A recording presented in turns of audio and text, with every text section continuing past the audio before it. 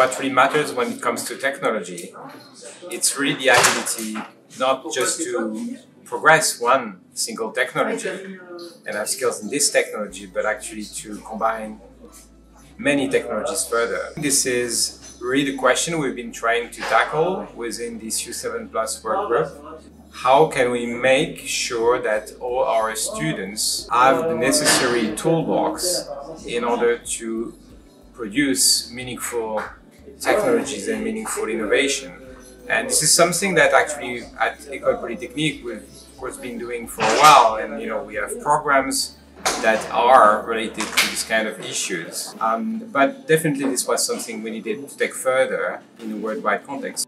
Everywhere in the world that you need to foster multidisciplinary skills. Um, the issue is how to do so. The idea is basically that students from various universities across the globe, in Europe, in uh, America, and also in Africa, are working together to identify local challenges and see how they can, with the help of um, academics and support staff, how can they actually find within their institution and across the U7 Plus network the skills that are needed to solve the problems they're trying to tackle. I'm here from the University of Ottawa, representing our team from Canada. The things I liked the most about it was interacting with the four universities that came here uh, for the competition. So it's University of Ottawa, so our team, uh, Ashesi University from Ghana, um, Northwestern University from Chicago, and also École Polytechnique, so our hosts. And so meeting everyone from those those uh, those schools and they're learning about their projects and what they're they're finding in their communities that they really want to focus on uh, based on the sustainability goals of the United Nations. Um, really like just inspired us and gave us this like motivation to to keep working on our own projects and learn from what other countries are struggling that we had no idea. And so it's been an incredible experience.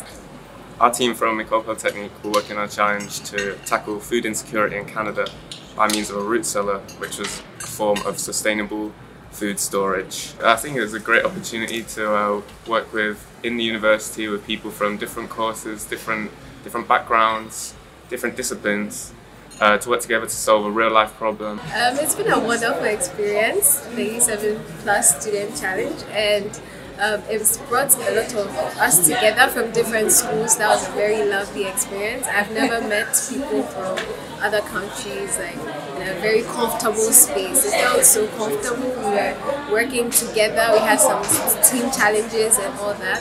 The U7 Plus Student Challenge made me understand that each country has their own problem and trying to find sustainable ways of solving these problems. We worked on illegal mining, which is a prominent issue in our country, and other um, teams also did very various um, projects about food security.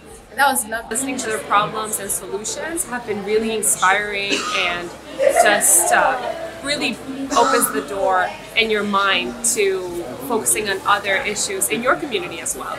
And you bring that back home to your universities and you share that with your family, friends, and you just expand that collective consciousness of all these issues and um, really cultivates maybe ideas and solutions.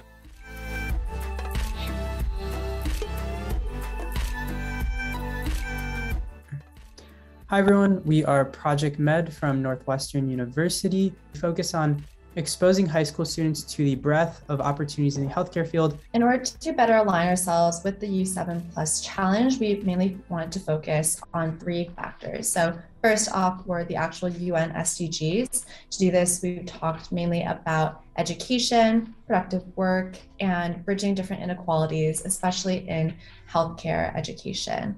And number two was talking about technology. Specifically, with our launch database, we wanted to utilize the technology to actually bring access to these opportunities. And last but not least is sustainability. So, using technology, we really want to be able to engage the local communities that we work with and ensure that the impact is there for years to come. And one of the most valuable things that we were able to gain from developing this project and working with the U7 Plus Student Challenge was a diversity of perspectives that we were able to gain from interacting and talking to the different universities that participated. And without that, then thank you so much to École Polytechnique and U7 Plus for organizing this event and giving us this amazing opportunity.